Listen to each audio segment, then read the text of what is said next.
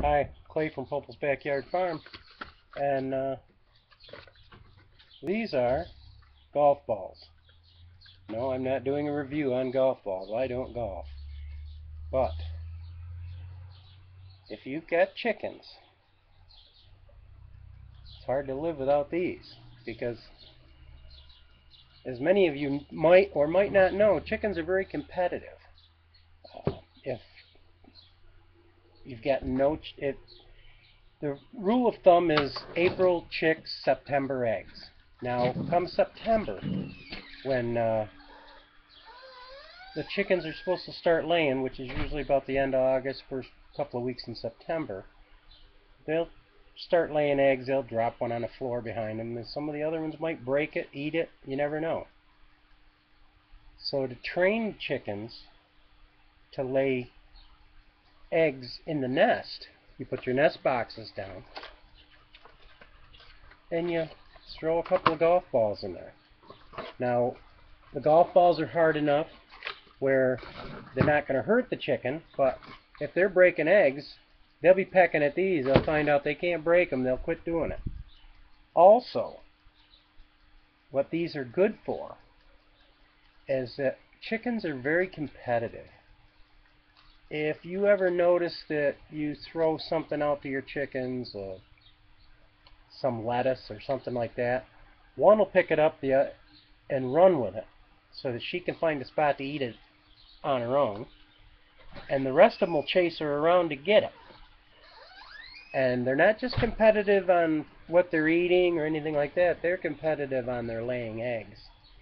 If one hen sees a bunch of eggs in the nest, she's thinking, hmm, I better start laying some eggs too. So if you put some golf balls in an empty nest, maybe one or two, and then go to a different nest and put one or two, the hens will see those eggs in there, or should I say the golf balls, and they'll start laying eggs in there.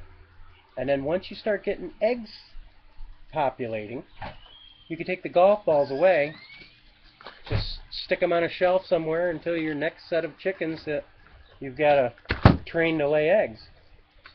And you'll find you'll get a lot more eggs by just making them think they've got to compete with the other girls. So this was Clay with a little tip from Clay's and Ruthie's backyard farm. And uh, you got something to say, Ruthie? I do. Well, come on over here and see what you got to say. I'm going to stand right behind you. Guys, we have a giveaway. We have a giveaway. It's the Ecology. Now, it's the shampoo and the conditioner. And this is what we want you to do. We want you to like and subscribe to our channel. And all this is going to be really easy. All you have to do is write in the comments below. What should they write in the comments below? Something about how many chickens you have, or what should we have them do, dear? Well, it doesn't matter. Just they're competing for shampoo. Why do you need your shampoo? I don't know. okay, you've got a comment below. Why do you need the shampoo? And uh, we will pick one person, and the giveaway ends next.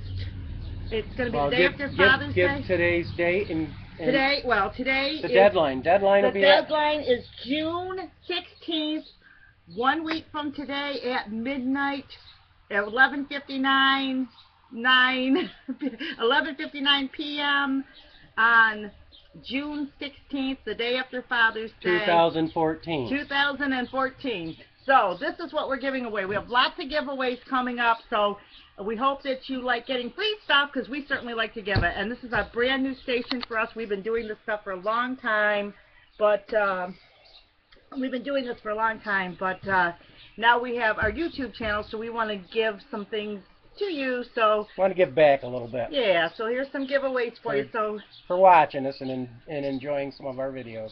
So I hope you enjoy this, and uh, all you gotta do, like we said, is subscribe, like the video, and then leave a comment below on why you need And you'll be in for shampoo. the running. And you'll be in for the running, and it ends Monday, 11:59 p.m. on June 16th, 2014. So There you go, guys. God bless. And keep coming back if you like little tips Yeah. on uh, farming and raising chickens or rabbits or geese or any of that. Our gardening, we do a little bit of everything, and we try to give little hints and and things. We aren't asking for any money. We're just doing it for to be good people out there to help you. And we we put things together. Sometimes we have problems. Sometimes uh, things don't go right for us, but we're doing these things so that you can do it right the first time and don't have to go through any of the uh, trials and errors that we've gone through in the past. And we're glad to help you out any way we can. This is Clay And Ruthie. from Pople's Backyard Farm. Join us again.